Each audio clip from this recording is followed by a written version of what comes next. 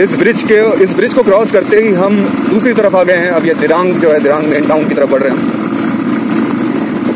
यहाँ से पाँच मिनट में आया मैं I will be in the middle of Dirang market और समथिंग और वहाँ से हम सीधा सीधा बॉम्बीला निकलेंगे ठीक है ना भैया? हमें रुकने की ऐसे किसी की ज़रूरत नहीं है ना? ठीक है। तो अभी एट फोर्टी फाइव हुए हैं सुबह के।